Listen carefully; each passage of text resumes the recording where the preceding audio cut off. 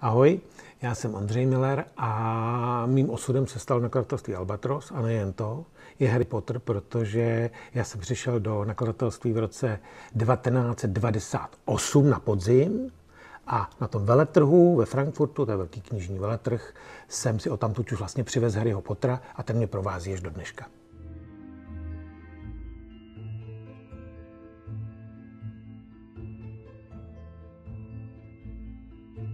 Já jsem, jsem začal v Albatrosu jako, tehdy to chtěli nazvat umělecký ředitel. To se mi strašně nelíbilo.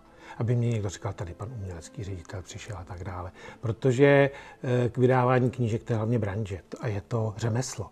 A eh, umění je to taky, ale podstatné na tomto umět to řemeslo.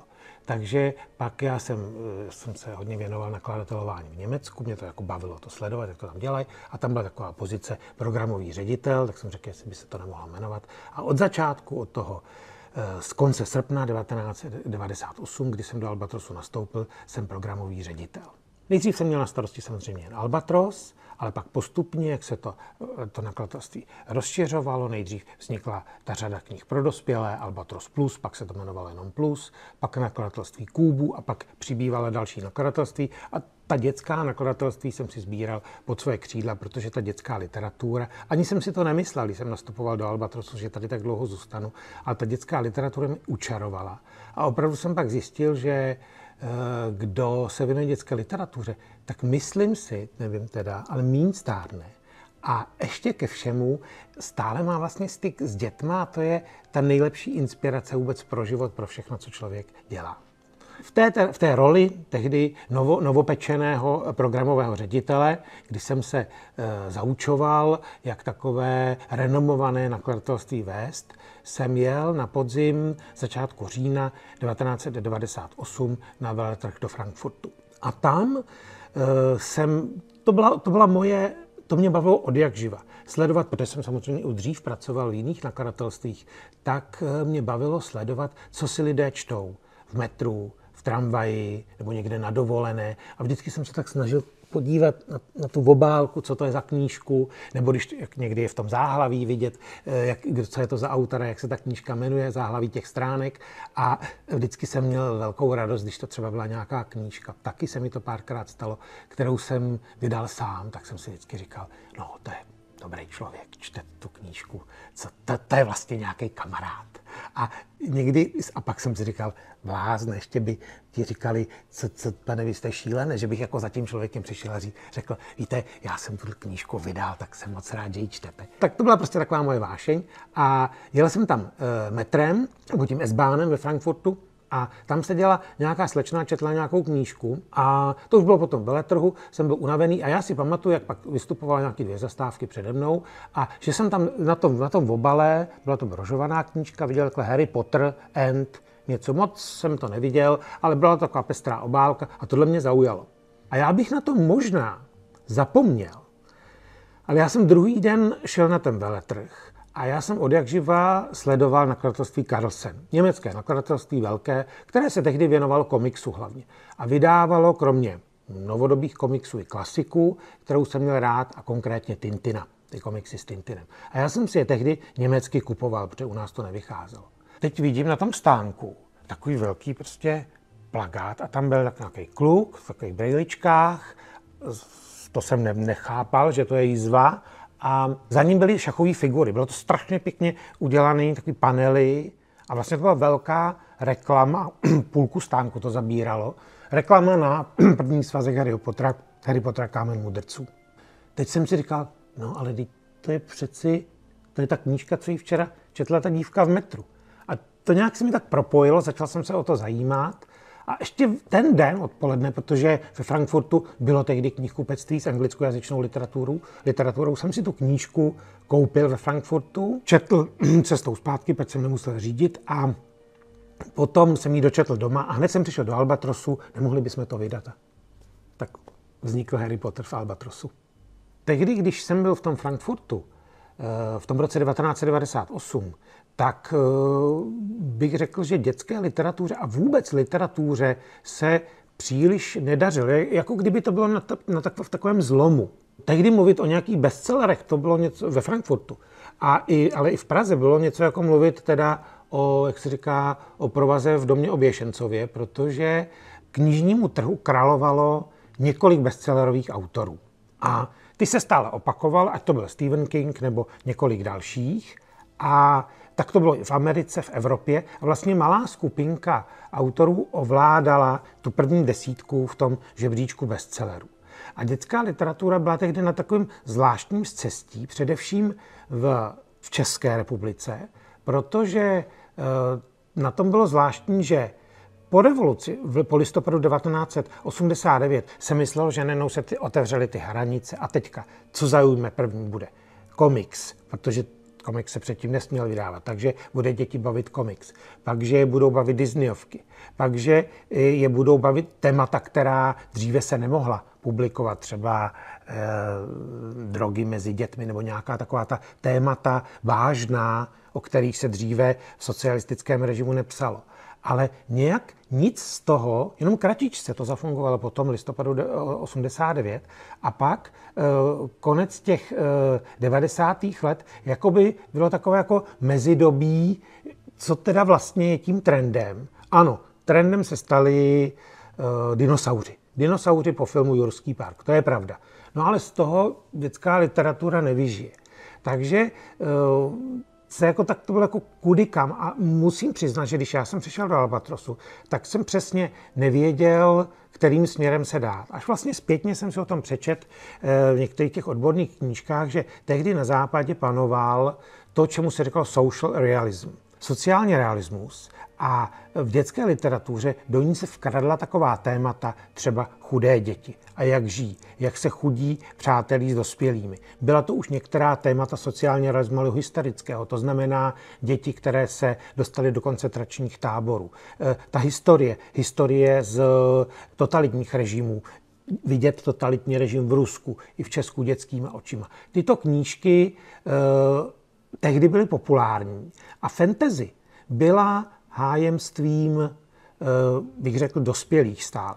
Dospělých fantazistů a hlavně to byla taková žánrová fantasy, jak bych to nazval. Jako byla žánrová science fiction, kterou psali autoři, kteří vzešli z fandomu, rozuměli perfektně tomu žánru a psali to pro fanoušky science fiction, tak zrovna tak fantasy četli tehdy ti, kteří četli Roberta E. Havarda a Conana, kteří četli Roberta Jordana a jeho kolo času. Zkrátka fanoušci sci-fi a autoři, eh, fanoušci fantasy a autoři fantasy psali knížky pro čtenáře fantasy, pro ti, kteří vycházeli z toho žánru, eh, pořádali ty kony, ta setkání těch fanoušků, kde tedy chodili už jako čarodějové a tak dále, to už tehdy existovalo. Ale všechno se to týkalo toho žánru.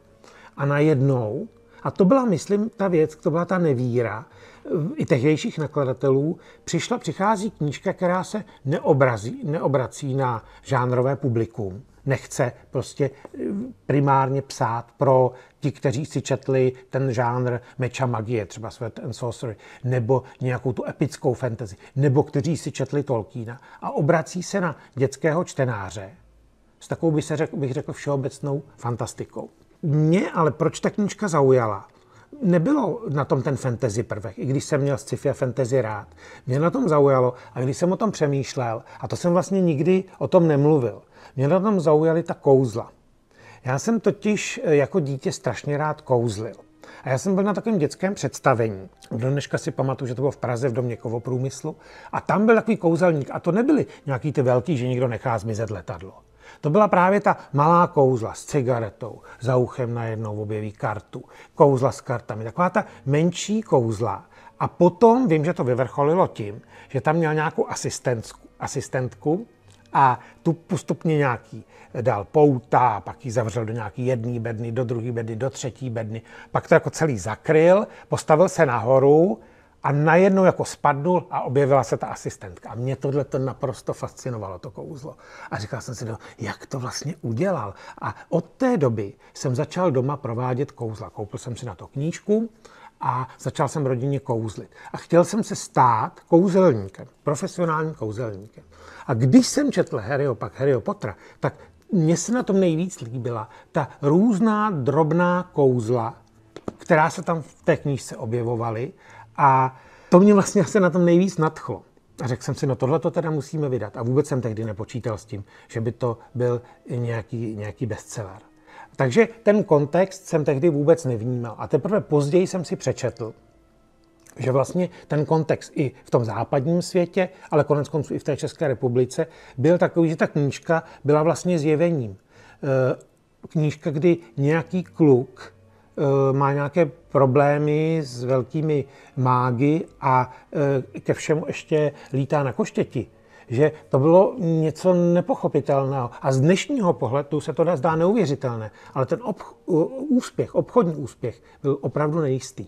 Další takovou věcí, proč, ten, proč chápu, Jo, dneska se tomu třeba posmívají i nakladatelé a lidi, že tuto knížku, její rukopis odmítlo 8-9 eh, anglických nakladatelů a teprve desátý Bloomsbury to vzal a vydal a byl to, byla, je z toho nejprodávanější eh, knížka ve světové literatuře. Ale eh, tehdy na, tém, na tom rukopisu určitě bylo zarážející i to, že byla ta knížka byla vlastně tlustá.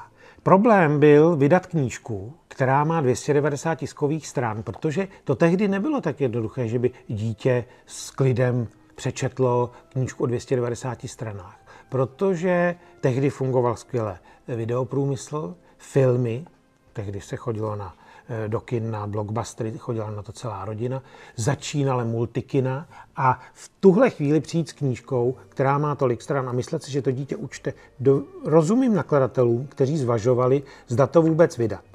Mimochodem i pro nás to bylo e, takové, byla to sázka do loterie. A z dnešního pohledu se to zdá neuvěřitelné, ale o tom, jestli bude Harry Potter úspěšný, o tom se opravdu dalo s úspěchem polemizovat. Jestli třeba po třetí knize neskončí a ta série e, nevíde dostracena. Co se týče dětských sérií, tehdy byla ta nejúspěšnější od Enid Blytonové. A ta královala anglosaskému trhu, jakkoliv už byla starší, ale pořád vycházela v rédicích. A my jsme se jí taky pokusili v Albatrosu vydat a byla úspěšná v České republice, tahle série. Ale eh, co určitě nebylo obvyklé, aby eh, nějaká série i hned od počátku se prokazovala takovým velice komplexním dějem.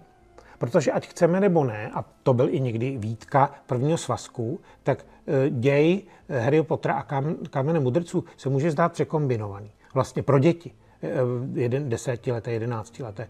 A je obtížný. A to, jak tam eh, spolu eh, se střetávají ten svět dospělých a svět dětí, i to, jak vlastně Harry Potter je, je sám, je vlastně nalezenec, by se dal říct, a přesto pak si hledá ty kamarády v Bradavicích, tak i to je tam docela sofistikovaně popsáno. Takže e, oproti tomu knížky Enid Blytonové jsou velice jednoduché a mají tu, tu velice, velice e, jednoduchý sižet. Ta fabule je e, daleko prostší. Takže i tohle mohlo tehdy mást čtenáře. Ale, jak říkám, to je dnes skoro si těžko dá vžít do naší role nakladatelů tehdy v roce 1998, 99, 2000, protože z dnešního pohledu všechno přezářil ten fenomenální úspěch téhle série. Nebýt toho, že by v Bloomsbury dcera vlastně nakladatele eh, v nakladatelství Bloomsbury, které bylo tehdy naprosto malinkaté nakladatelstvíčko, kam to spíš, nevím z jakého důvodu, možná už Rowlingová nevěděla kudy, tak to, kam, tak to tam prostě nabídla do tohoto nakladatelství a ta si to přečetla. Zaujalo jí to. A možná se stalo, teď už spekuluju, že vlastně těch devět nakladatelů předtím, osm, tam to četli dospělí lidé. Nečet, ne, nedali to číst žádnému dítěti které by řeklo, je, to je pěkný, vydejte to, jak to dál bude pokračovat s Harry Potterem. Ale to se stalo v nakladatelství Bloomsbury a díky tomu se toto nakladatelství stalo světoznámým, protože právě vydalo uh, nejprodávanější knihu na světě. A jak to bylo v České republice? To bylo úplně jednoduché. Já jsem se vrátil z Frankfurtu v, listo, v říjnu 1998 Řekl jsem tam eh, kolegyni, která pracovala ve smluvně právním oddělení, prosím tě, můžeš objednat toho Harryho Pottera. Ona dokonce říkala, jo, o tom jsem slyšela, ano, ano, ráda, napsala tam. Druhý den přišla odpověď, že jsou velice potěšení, že takové prestižní nakladatelství eh, a tradicí, jako je Albatros, si vybralo Harryho Pottera a že ho vydá. Za úplně normální práva, která byly tehdy, byla tehdy běžná, jsme tu knížku koupili. Byla to otázka opravdu ze dne na den a nebyly s tím žádné problémy.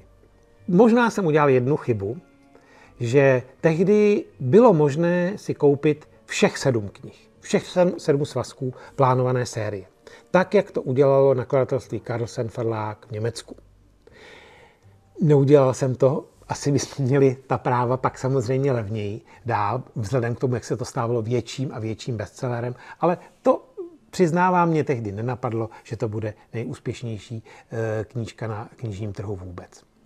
A stalo se jedna věc, co jsem se pak dozvěděl, že jedno nakladatelství české už tu knížku Harry Pottera odmítlo. Prostě se jim buď nehodila do plánu, nebo prostě nechtěli ji vydat z nějakého důvodu. A jed, jeden nakladatel, když jsme to koupili, se ozval. A ten určitě tedy byl prozíravý, protože říkal, nechcete, uh, um, já mám tu knížku strašně rád, uh, když si nejste jistí, jestli bude úspěšná, nechcete ji vydat uh, jako se mnou, jako v koprodukci. A to mě zaujalo, jsem říkal, aha, tak jsem si řekl, ne, to, to nechceme, to, to správně zkusíme sami, ale ten úspěch nebyl tehdy zřejmý, že ta knížka bude úspěšná. A teď si možná říkáte, ale přeci první svazek Harry Pottera vyšel až v roce 2000, konkrétně 29. února v pravé poledne. Tak jak to, že to tak dlouhou dobu trvalo? A e, tady je vysvětlení. Já jsem to dal tu knížku přečíst e, své dobré známé, výtečné překladatelce z angličtiny Jarmile Emerové. Jednak jsem ji znal, protože z překladů protože překládal mého oblíbeného autora Ray Bradburyho a potom krátce předtím jsem s ní pracoval na vydání posledního nedokončeného románu Charlesa Dickense Tajemství Edwina Drooda. Tak jsem jí to dal přečíst, protože když jsem si to přečetl, tak opravdu mě to něčím tehdy připomínalo eh, Charlesa Dickense. Takový tím vyprávěním, těmi mluvícími jmény. Právě tím takovou tou, bych řekl, britskostí. Tak jsem si řekl, to by bylo, a věděl jsem, že Jarmila Amerová je skvělá znalkyně anglické literatury, tak aby si tu knížku přečetla. A tam mi říkala, Ondro, ta knížka je perfektní, ale já teď bohužel mám potíže, měla nějaké potíže s očima, tak bych si na to netroufala, protože už mezi tím jsme věděli, že vyšel druhý a třetí svazek, těžko bych to na to mohla navázat, tak uh, si na ten překlad teď uh, netroufám ze zdravotních důvodů ale vřele ti tu knížku doporučuji k vydání opravdu výtečná a hlavně, a na to mě i ona upozornila, protože já nejsem zase takový anglista skvělý, v té knížce je mnoho takového jemného anglického humoru a ještě slovního humoru. Ta, v té slovní komice je tahle ta autorka skvělá. Tak jsem uvažoval, komu jinému tu knížku dát k překladu. A vzpomněl jsem si zase úplně, jak tak člověk čte literaturu na jiného překladatele, a sice na překladatele Vladimíra Metka. Krátce předtím jsem s ním vydal, pracoval na sbírce jeho eh, fantastických a vědecko-fantastických povídek. A věděl jsem, že on miluje slovní komiku, že jí má rád a hlavně, že ji využil v jiném románu, který přeložil uh, z portugalštiny a teda, pardon, ze španělštiny a to byl román Gabriela Garcia Marquéze 100 roků samoty. A ten právě takovou jsou tím epickým vyprávěním mě nadchl, jak to pěkně přeložil.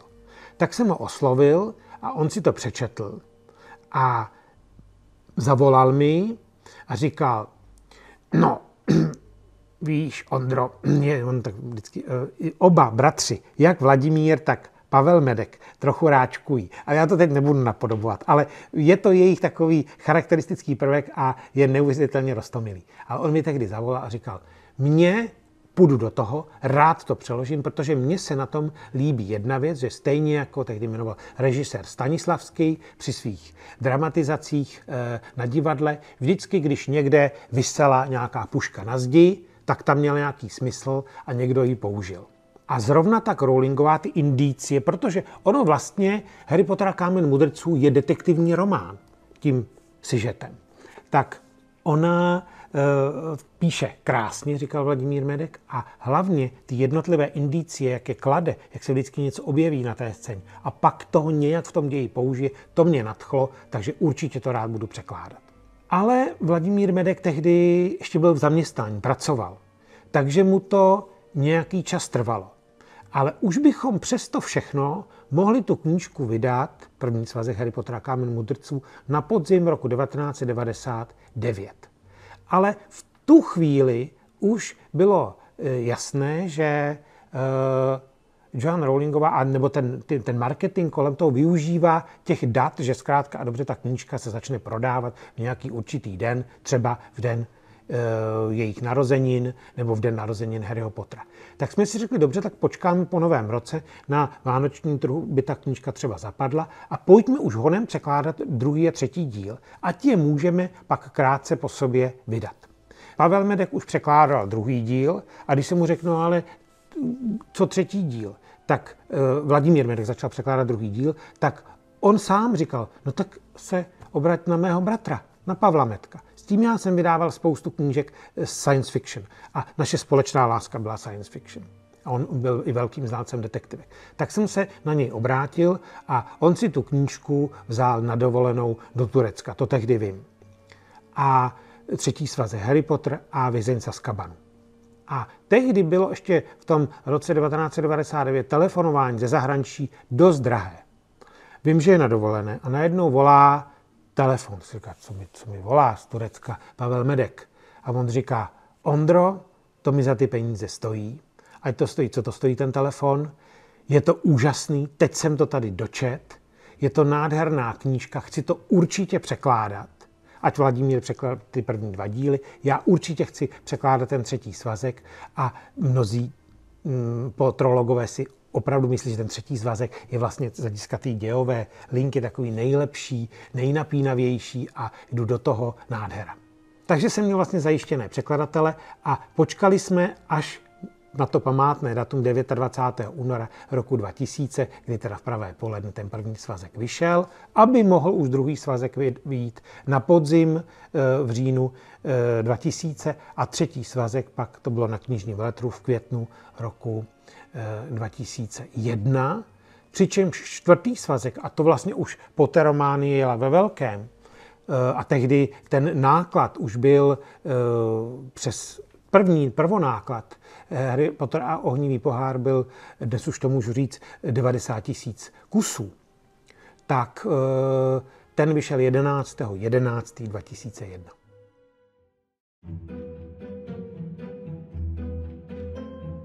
Když Stefany Majerová napsala Stmívání, tak se objevilo desítky sérií o upírech. Okamžitě. Ale Tehdy to tak nebylo. A než někdo začal psát romány o nějakém klukovu, klukovi sirotkovi, který zažívá někde nějaká kouzla, to chvíli trvalo. Nedovedu si představit, jak vypadal Harry Potter. Možná by to bylo zajímavé, ale jak by vypadal s technikou těch efektů těch 70. let. Jednu výjimku teda znám a ta je ku podivu česká. A ta se uvádí i v zahraniční literatuře mimochodem. A to je dívka na koštěti. Harry Potter zkrátka spustil jako opravdu rozbuška takový výbuch supernovy eh, celou vlnu fantasy příběhu.